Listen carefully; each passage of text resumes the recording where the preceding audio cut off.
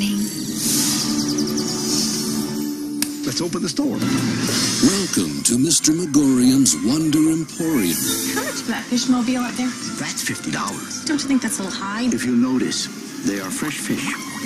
Where the store is alive and wonders never cease. It's magic. Till now. It's not real nice to stare at people. I'm Henry Weston, the accountant.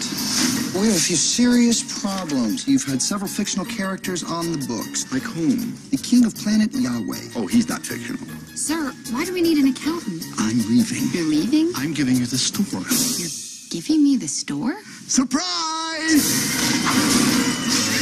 The store is upset as indicated by its temper tantrum. Temper tantrum? I would like a lollipop. It's a magical toy store. It can do all sorts of things. There's no such thing as a magical toy store. Of course there is. When you say magical, do you mean special? Magical. How about really, really cool? Magical.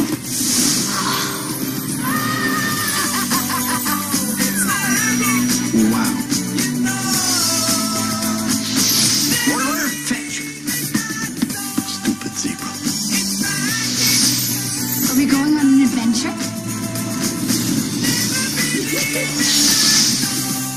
Find yourself somewhere you've never imagined. Mr. Magorium's Wonder Emporium. Come on, get out of there. Bouncy balls, always trying to escape.